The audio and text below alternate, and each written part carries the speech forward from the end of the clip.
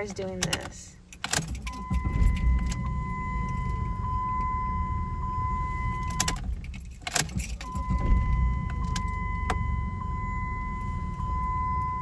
I am so over this. Um, this is like, I think been a week since I fixed my car. Spent like $670 on it. Um, my check engine light come, comes on again.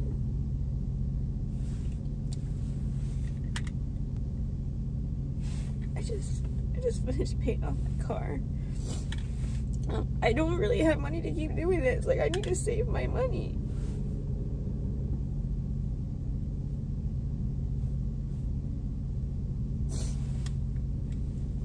So my car has been in the shop three times this month within a three week period. And I went in for a check engine light and then the light came back on. So I had to bring it in again. And then the day after I got it after the second visit, my car wouldn't start. And so I was late to work yet again. Can I be concerned that my car is leaking this much in like 30 to 40 minutes?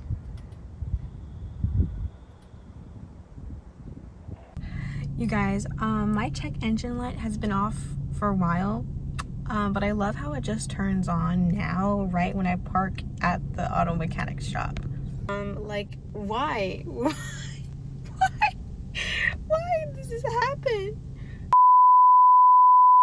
Hey y'all, it's your girl Joy back with another video. In this video, I will be telling you the story time about how I bought my car at 21 and the reality of buying a used Jeep at 21. I will also be taking you with me to clean it up since it is really dirty and we will also give you a tour of the Jeep once we're done with all of that. So let's get into the vlog.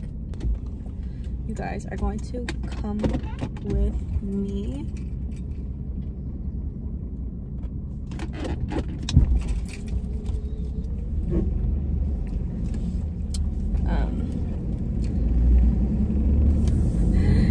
you're like a used car is like a liability. It's not something that you invest in to get more profit off in the future because the value already depreciated like a lot. So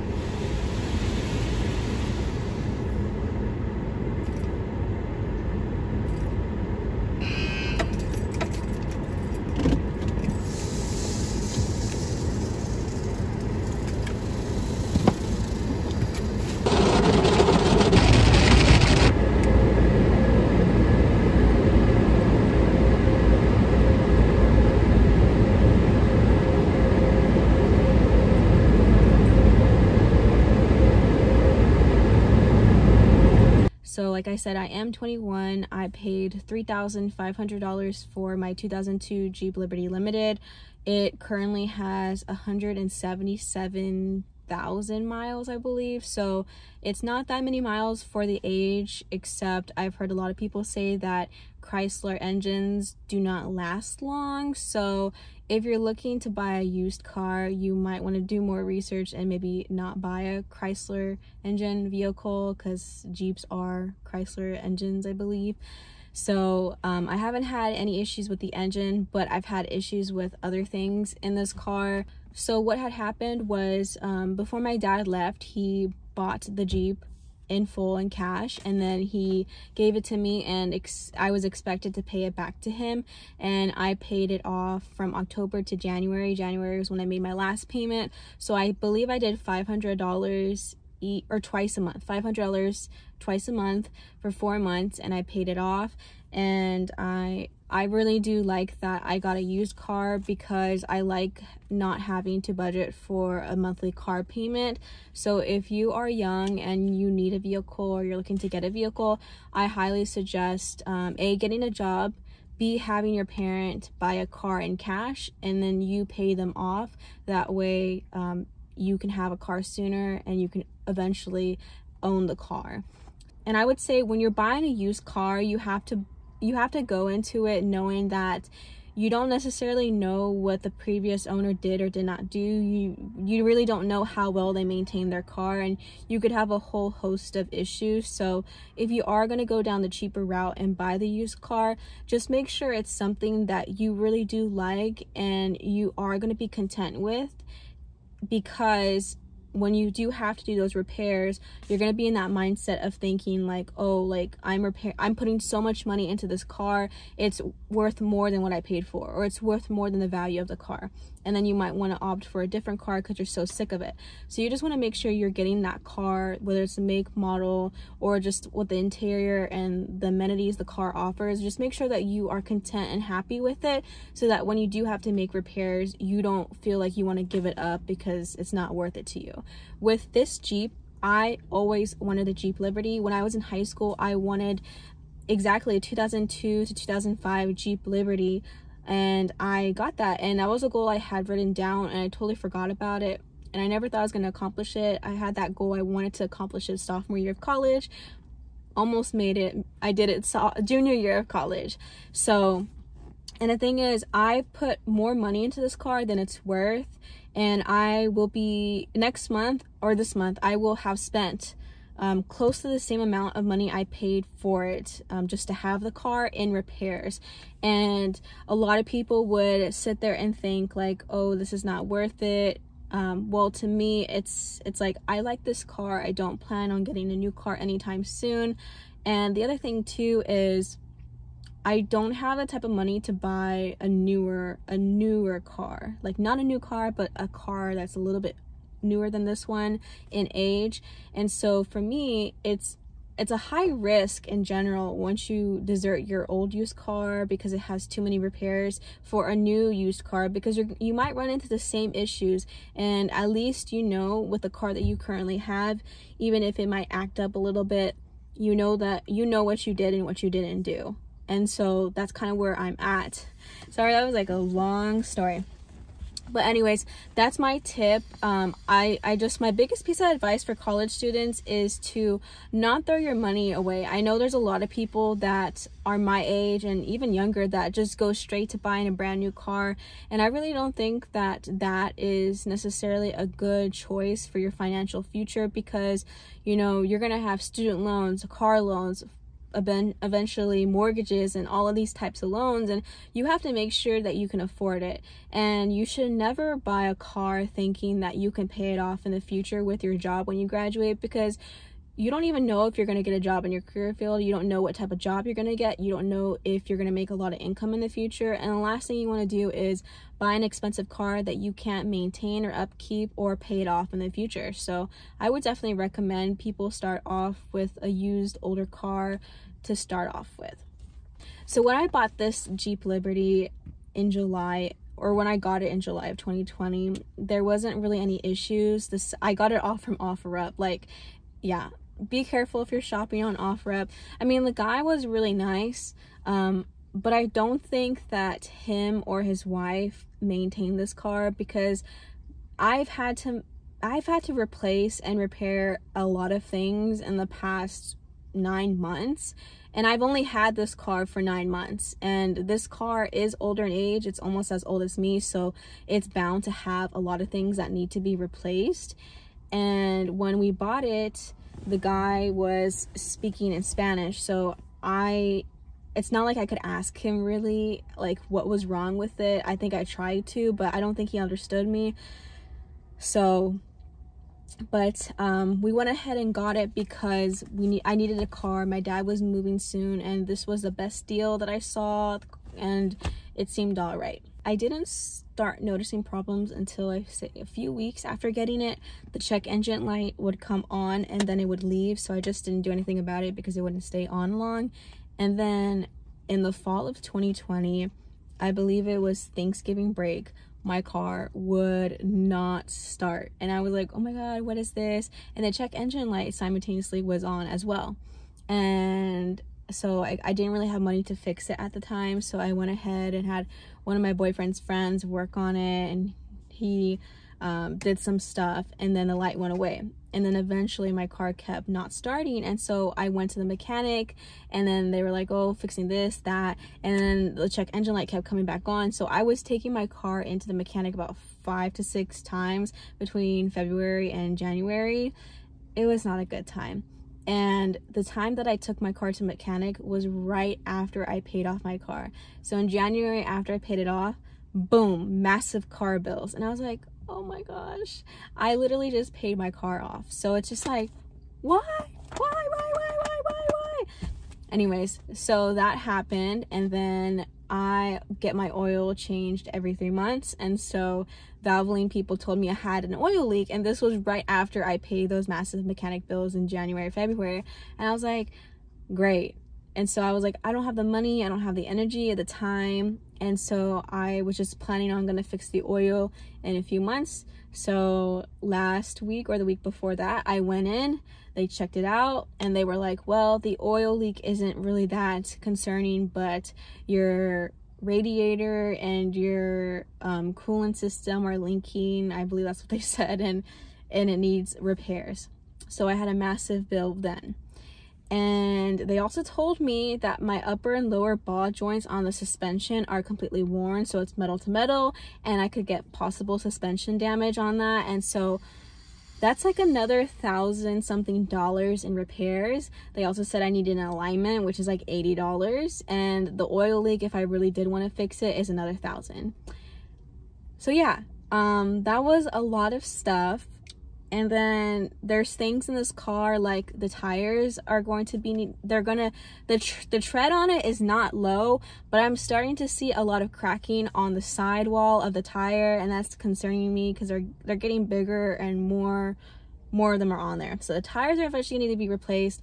The spare tire is not good like every time someone comes to my car, they always look at that spare tire and they're like, you need a new spare tire. And I'm like, I know, everybody tells me that because the thread is literally coming out of the tire and the tires came with this car. My AC is acting up. It's like blowing hot air and then my radio knob is acting up.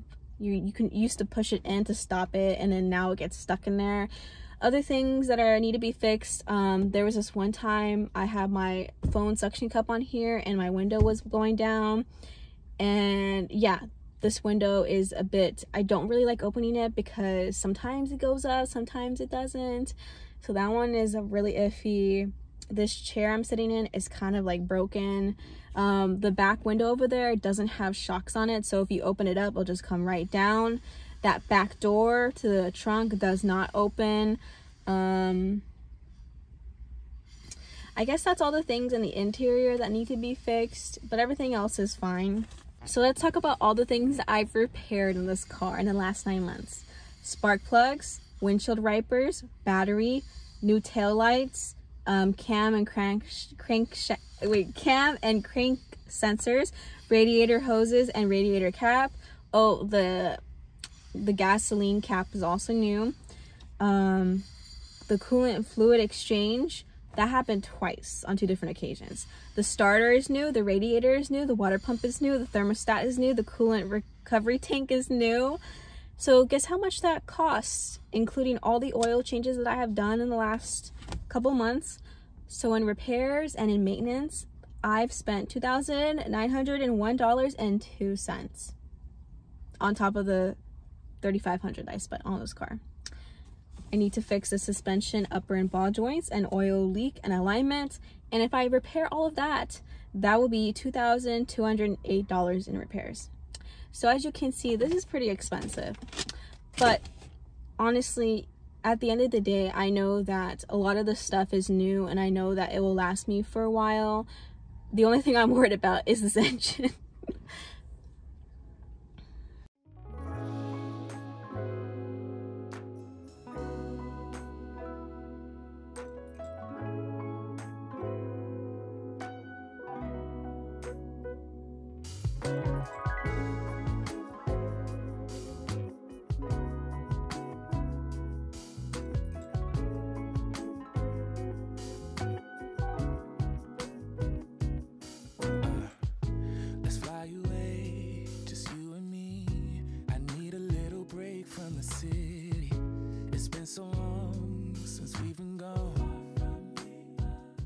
Right, y'all, so I just finished cleaning the car. One thing I wanna put your attention to is the tire valves. I changed them out and I put these really pink metallic looking ones. As you can see, the quality of the tires, um, there is, uh, this is not looking as good, but very dirty looking. And the tires are all from different brands. Like that one's from Goodyear. This one is from Yokohama. This is the back one, a different tire. This one is Michelin. And then this is Destination Lee. So they're all from different brands. I did not do that, that it came like that. So um, what I love about this car is the really big side mirrors. I love that it has this view as well for your blind spots. So we open it up. As you can see, 2002, so there's some wear and tear, a bit fading and this is, no matter how much I clean it, it's gonna look stained and dark. And this one is coming undone a little bit. But in this compartment, I like to keep things like sunscreen. This is my favorite brand. And then we have some pink body mist. Just whenever I go to the gym or coming home from school or work, I just like to smell good. We have some more sunscreen. This is my favorite body sunscreen from Sun Bum. And then I also like to keep a hairbrush in here. Very important. So this is what this side of it looks like. Um, I actually bought this today from from Dollar Tree. I saw it. I don't know if I like it though. It kind of looks weird. Um, and then I have these really cute headrests. Everything in this car is pretty much this color. It's my favorite color. Please don't judge. But I got two of those. And these ones I got a long time ago from Daiso.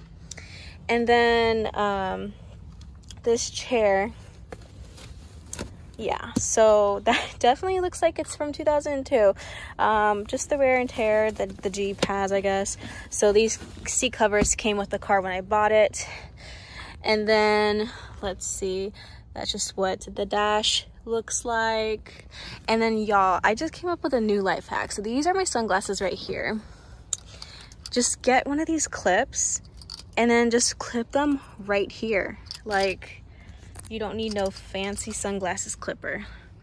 Like watch this. And then voila. Isn't that so cool? Anyways, so let's get in here. Um, I'm thinking about putting like a hula Hello Kitty right here, the dancing ones. But anyways, I, this is just for my phone and it's really helpful for filming. I always have this, this is your moment sticker and I just put this little sign. It says, be still and know that I am God. I'm probably gonna take that off because it's probably gonna fly my way like when I'm driving. And then I just put a new um, fresh what is this called a new um uh, whatever that is called. I don't even know. I can't talk. Anyways so this is my panel. This button is acting up acting up a little bit. And yeah. Um i like that it's kind of a bit more modern for like a 2000s car if that makes sense. Like this stuff doesn't look like it's from the 2000s maybe the 2008 2010 kind of era. And then these are just the coins i have. I got some hand sanitizer. And then this is my little trash can that I got from, Do I know it's the recycle side, but I like to use it for my trash, like your boba, straw trash and stuff like that. I got that from Dollar Tree. And then this is what the side looks like. This is just for my um, windshield to keep this stuff looking fresh. And it's also my favorite color. And then in this Jeep Liberty, the controls for the windows are actually right here, which is interesting. All right, now let's go on this side. This is what it looks like from the passenger side. It has this little compartment right here. Ah, oh my God, just hit my shoulder. Anyways, so in this little center divide, I like to put my charger for my phone. And then because of COVID, I like to put all my clean masks in here so that way I know what is clean and what is dirty. And then I have these N95s for if I'm with someone and they don't have a mask. And then this is just um, you can put this in here and plug it to your phone um, and play music that way. It works somewhat but not that much. So that's pretty much what is in that compartment so if you're looking to buy a Jeep, especially a used Jeep Liberty from the 2000s, what I really like about Jeeps is that it does have a lot of space, but it's still compact. Like it's not like a huge SUV. I struggle with parking, especially parallel parking and parking in small spaces. I used to drive a truck, but driving this uh, Liberty, I feel comfortable parking pretty much anywhere and I don't have as hard of a time parallel parking so yeah i definitely think that this car is a good option for those who are not the greatest at parking or really anxious to park in large vehicles. I will say that this car is not good. It's not really for gas. Like it's not gas efficient. It it's not that great. It's really thirsty at the gas pumps. On the passenger side i just have this pink bible and then i just have like random stuff that came with the car and then i also have I also, oops. I also have the tire gauge right here in this one. All right, let's us go to the back. So this seat seats five people. Okay, so sometimes I like to put blankets back here. Um, as you can see, like the leather is like not in the greatest condition. Um, but it's not as bad as that one. So I like to keep pillows, like pillow pets back here, and like stuffed animals. I just have sh another shark and then a dog back there. So right here, I have my reusable tote bags that I take with me when I go grocery shopping. That way I don't have to pay for the bags. It's really helpful. I definitely recommend. And then over there, that's just my bag I take with me to the beach.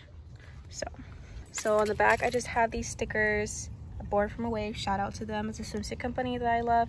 And then Long Beach State, where I go.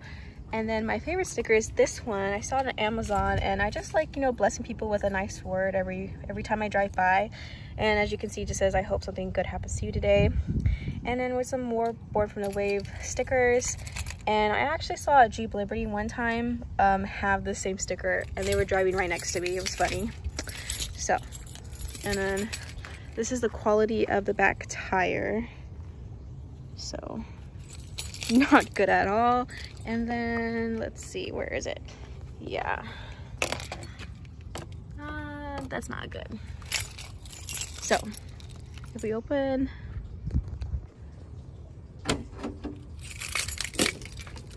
And then this thing needs to be changed soon. It's not in the best condition either. All right so as you can see, this doesn't have shocks on it or it needs new shocks, whatever. Okay.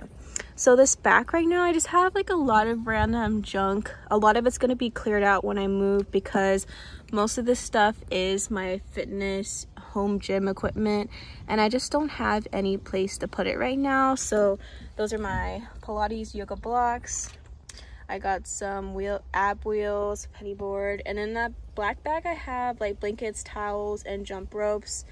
And then, yeah, that's pretty much it. And then if we look at it from the inside,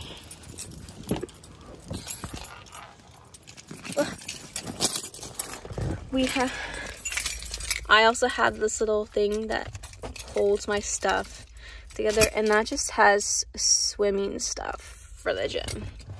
So yeah this is just what the back looks like.